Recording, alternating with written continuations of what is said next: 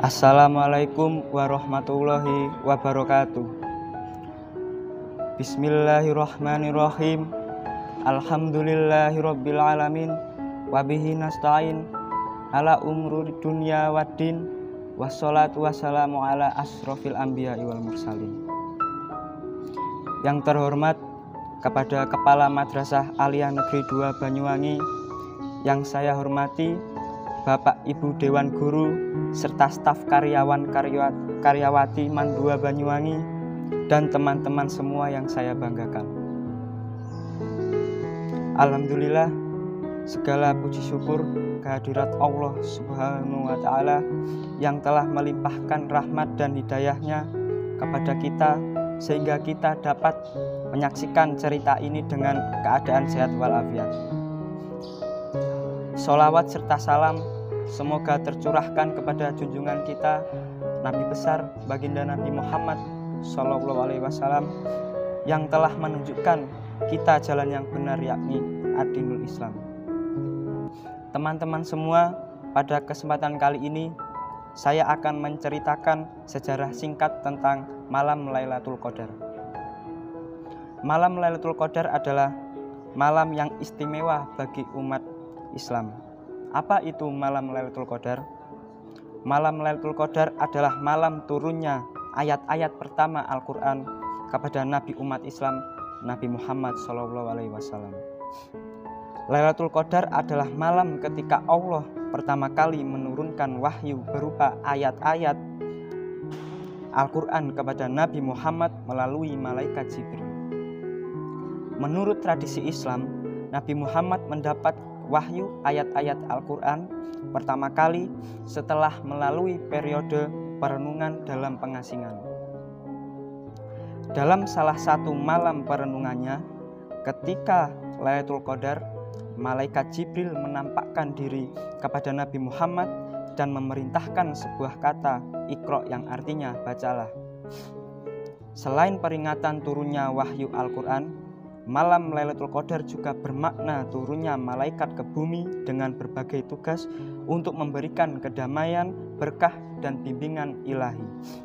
Dalam kitab Al-Quran surat Al-Qadar ayat 1 5 berbunyi, Sesungguhnya kami menurunkannya Al-Quran pada malam Lailatul Qadar. Tahukah kamu apakah malam Qadar itu? Malam Qadar adalah malam yang lebih baik daripada seribu bulan pada malam itu turunlah malaikat-malaikat dan Jibril dengan izin Tuhan mereka membawa segala urusan seluruh malam itu sejahtera sampai terbit fajar. Menurut kitab Al-Quran, malam Lailatul Qadar dipercaya malaikat-malaikat turun ke bumi sehingga suasana alam akan berbeda dari biasanya, lebih hangat dan lebih sejuk. Kapan terjadinya malam Lailatul Qadar? Malam Lailatul Qadar diyakini terjadi pada malam ganjil dalam salah satu dari 10 hari terakhir di bulan Ramadan.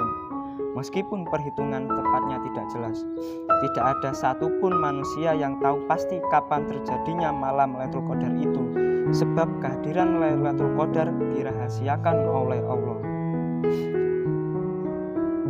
Menurut hadis riwayat Bukhari dan Muslim, Nabi Muhammad menyampaikan kepada umatnya untuk bersemangat mencari malam Lailatul Qadar di 10 hari terakhir bulan Ramadan. Apa keistimewaan Lailatul Qadar? Bulan Ramadan dinilai sebagai bulan suci bagi umat muslim sebab Lailatul Qadar hanya terjadi pada bulan Ramadan. Artinya umat muslim hanya bertemu dengan malam Lailatul Qadar setahun sekali.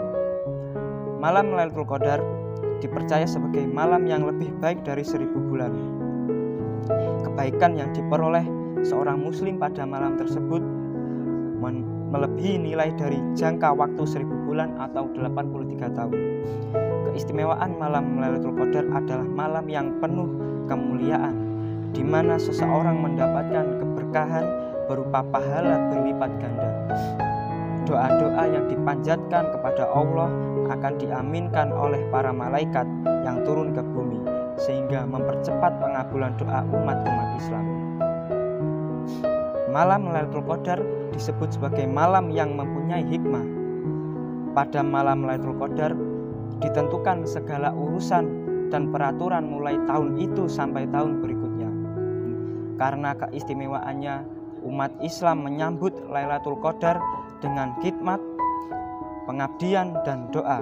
Bahkan ada yang menghabiskan malam Lailatul Qadar dengan melakukan iktikaf di masjid. Segala bentuk perhatian para hadirin sekalian dalam mendengar cerita saya merupakan sebuah penghargaan dan saya ucapkan terima kasih. Mungkin saya rasa cukup apa yang saya sampaikan. Kurang lebihnya saya mohon maaf. Bila taufik walidayah. Wassalamualaikum warahmatullahi wabarakatuh.